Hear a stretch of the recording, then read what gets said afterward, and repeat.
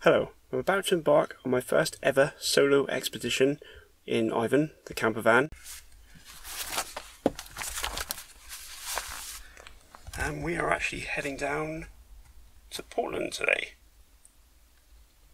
Despite living in Dorset and being only about an hour and a half away um, from Portland, I've only visited the place once since I've been living here, and that was over six years ago. So I'm hoping to improve upon those first attempts with my photography.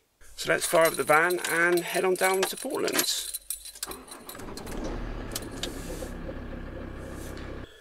Right, I've arrived.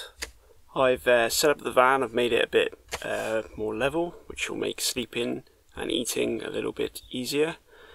So just before dinner, I'm going to just walk around some different points in the area uh, from this base, and I'll see what interesting compositions there are, get a better lay of the land, and establish where I want to return to and when, um, when and if the light gets any better. So let's head on out and see what I can find.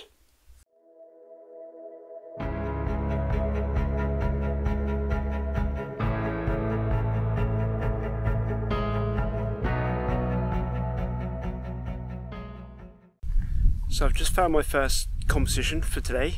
It, it's very reminiscent of um, the Sycamore Gap tree up in Northumberland. That's why I kind of like exploring these off the beat areas um, in popular locations because you never know what kind of compositions that other people might not have found um, that that are available. And this being one of them, the the sky is a little bit disappointing. So I reduced the aperture down down to f 8, that gives me a 1 200th of a second shutter, so that when I wait for the wind to die down, it should be enough to freeze the tree.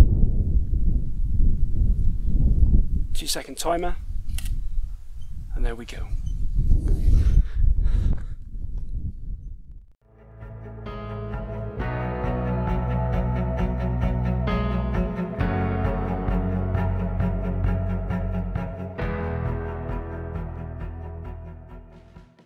So I've just taken a few handheld compositions here. I quite liked, there's a, an old more property keep out kind of sign here, a bit of rusting on the kind of securing points with the kind of the Victorian prison in the background. So we'll see how well that turns out, but it looks like a quite an interesting composition. So you might think that I would have gone straight to the lighthouse or to Pulpit Rock, um, some of the most iconic locations on Portland Bill for some photography. And I will get to those, of course, but I was quite interested to see what else Portland Bill had to offer. And that's why I kind of like going to these locations and exploring off the beaten track and see what other people perhaps don't spot because they go straight to those locations and pass all this by. So I'm really enjoying this part of the adventure. Um, it started to spit a little bit, so um, hopefully that will pass us by quite quickly.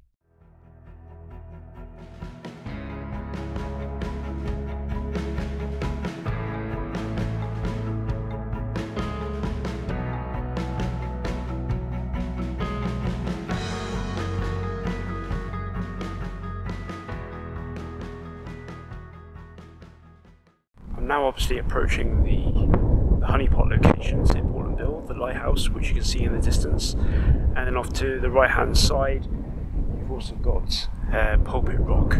So I'm going to go and have a, a look at them and before I start wandering back along the other side of the coast back to the campsite for some food. So let's see what I can find.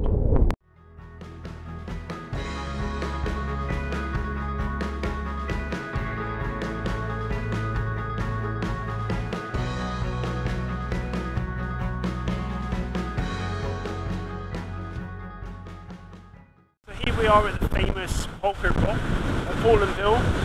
I'm surprised there's no other photographers down here, but it's quite windy and I guess it's not quite golden out yet. What was quite hilarious is there's a, uh, a, a, warning, dangerous cliffs, keep off. Yeah, there's a couple of fishermen um, in a precarious position. I'm going to take a snap of it with the with the signing because it makes quite a quite a dramatic picture, I think. So, so, so I'll put it up now and see what you um, what you think. But yeah, so I'm not sure whether um, having my tripod here with a long exposure is going to work at the moment because of this wind. It's, um, it's going to be difficult to keep the tripod and the camera still, so I might just take some handheld shots and see how they turn out. And then obviously, because I'm here until tomorrow morning, if the wind dies down, I can have another go. But I'll put a couple shots up now of what I managed to um, achieve here.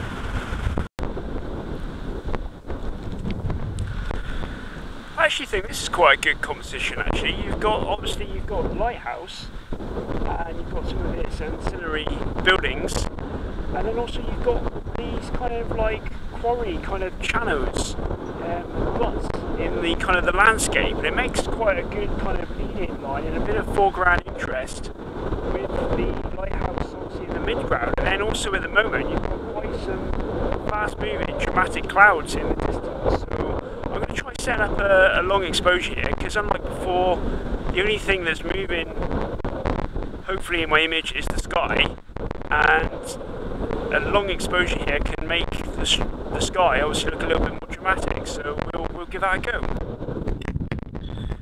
So it's quite windy but with, uh, I reckon it's a 5 second exposure for this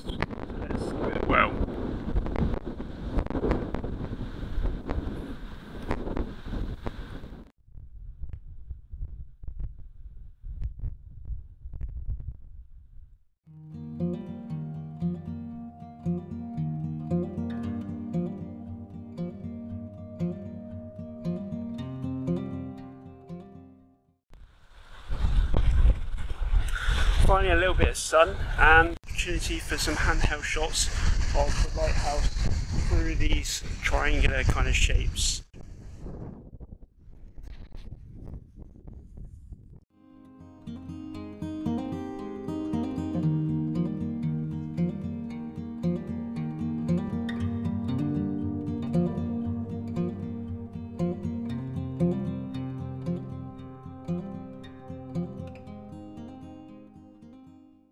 Back in the van now. I'm just going to have a bit of a breather and a recharge and some dinner. Um, I won't bore you with b-roll of me making um, soup with a pre-prepared roll. I really hope that the sun sticks around into the evening so I can get some really nice compositions from this, this great location. So as it's coming up towards 7pm which is golden hour for today, I'm about to head out and see what the light is going to be like. Only 10 minutes into golden hour and you can already tell the difference in the light. It's just so much warmer on the landscape.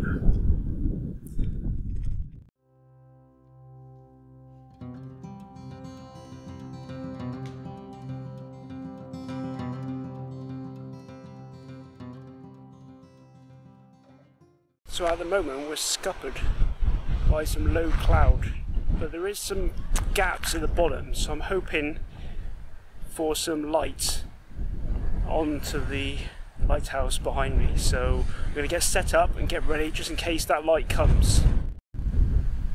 So I'm actually getting some really good light. Um, only problem is I'm, I'm, not sure that this composition is as strong as it was earlier. Um, but I'm going to do my best and hopefully what you'll see in a minute is the best that I've been able to come up with. So um, perhaps I should have got here earlier, but I'll know for next time.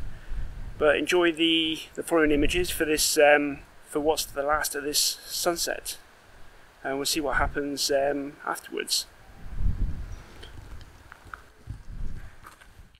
So I finally managed to take some long exposure shots of Pulpit Rock. I've got a three-stop neutral density filter fitted because it's not too light. And I just need a little bit of time just to blur the water slightly. It's pretty blown a gale now and there's some nutter stood on Pulpit Rock.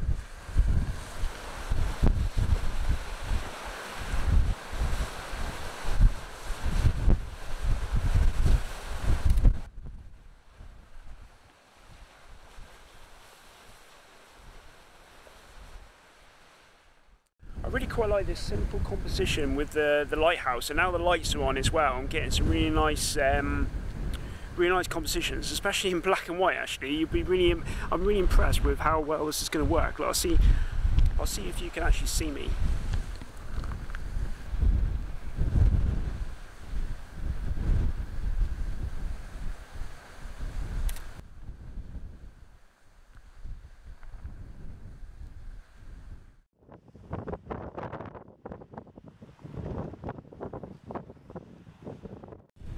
So that's about it for today. As you can see, it's pretty dark now, and uh, you only see my face because I've lit it up with uh, an LED light. Um, it's been quite a good day actually. I've got quite a, quite a lot of good images I'm hopefully uh, very pleased with. So I'm going to take a walk back to the campsite now and then obviously a careful walk back to the campsite. And then if I see anything else which um, is worth um, capturing, I'll, um, you'll, you'll see it in a minute.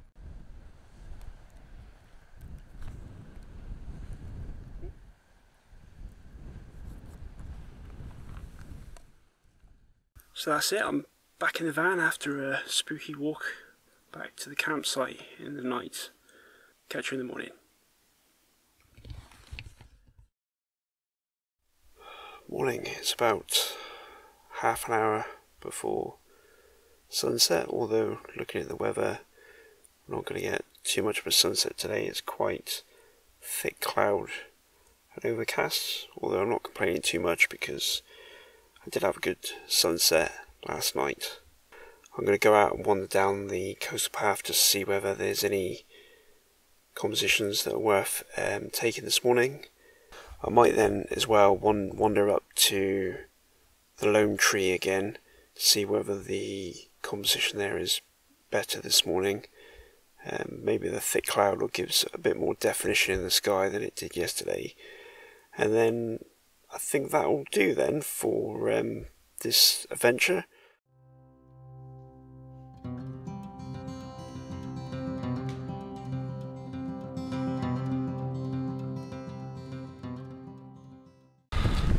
Well, good morning. There is some light in the sky, so um, it might turn out to be alright um, this morning, which um, is, is, a bonus. If I get anything, to be honest, I wasn't expecting anything, so as you can see probably in the distance, there is some kind of light in the low sky. I definitely need to do more of this. It's so peaceful and serene out here in the morning. Sunset is nice, and especially if you have nights like last night where you get some really good light, but it's always going to be popular with people. You know, it's only really going to be really serious photographers that, that get up for the sunrise. So hopefully I'll get something here. Um, you'll see it in a minute if, if I do. If, if not, I'll see you in the next uh, location.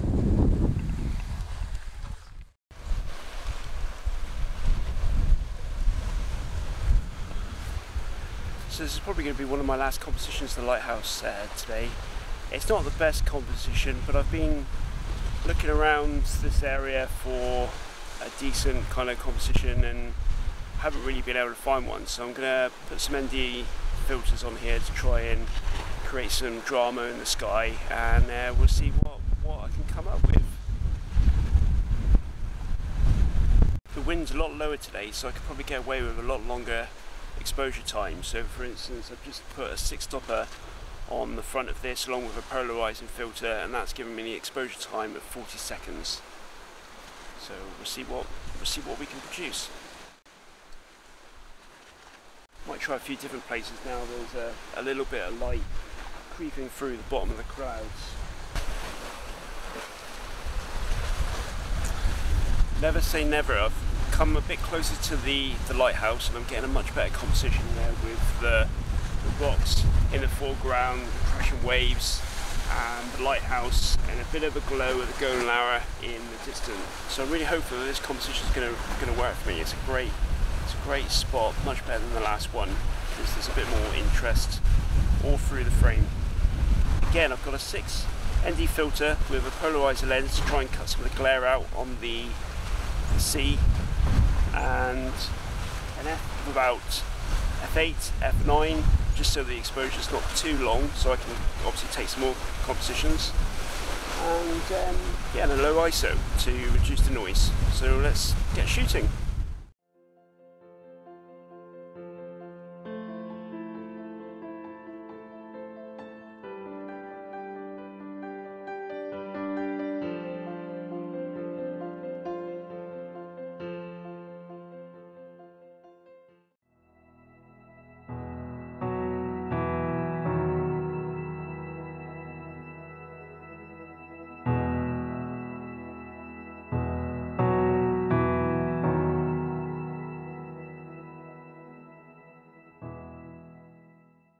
Right, I'm back at this location from yesterday, and I almost don't think it's as good as yesterday, even though in a minute or two the sky is going to be a lot better.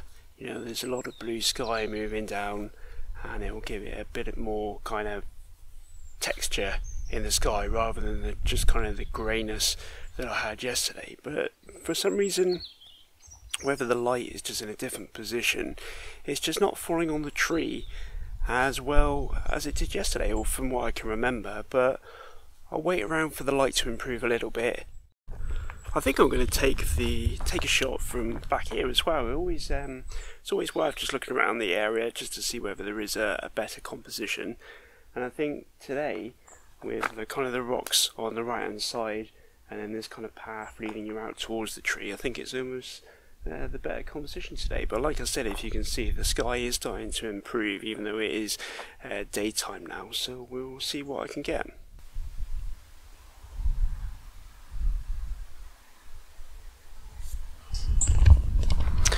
Yeah, I'm really liking this uh, composition back here. You've got a lot more of a kind of a lead in the rocks on the right, along with the kind of the cliff edge jutting out, and and then some foliage on the left, just kind of framing it this side. A lot, very good. And also there's a bit more interest in the sky today, and I'll be able to really enhance that back in post. Yeah, so I think I'm going to wrap this up soon because um, I'm quite hungry and I could do with a coffee. Just another shot. The light's changing all the time, so taking quite a few of these just just so that I can get the perfect kind of composition.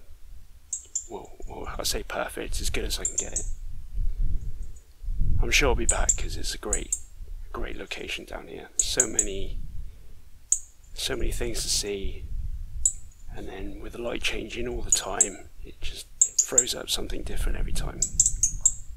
I'm really dialing down the exposure compensation in some of these images to really focus on those highlights because the sky is really interesting at the moment. Um, I'm really liking that kind of composition, that kind of low, low key monochrome composition. Looks absolutely great. I'll probably give it a nice 6x6 crop as well, really to kind of accentuate that kind of cliffside kind of structure and the hill to the left with the tree and the kind of the light cut across the frame. I think it's going to probably be one of my best images that I've taken on this trip. So just to recap, I'm at a focal length of 20, which is equivalent to about 40 on a full frame camera. I'm at f11, and um, that gives me 1 125th of a second exposure time. And of course, I've turned the in-body stabilization off on my camera, and also I've elected to turn on the monochrome profile 2 um, that the camera can produce, uh, two second timer, and also dial down the exposure compensation to account for the, the sky and the kind of the composition that I want to achieve, and then take the shot.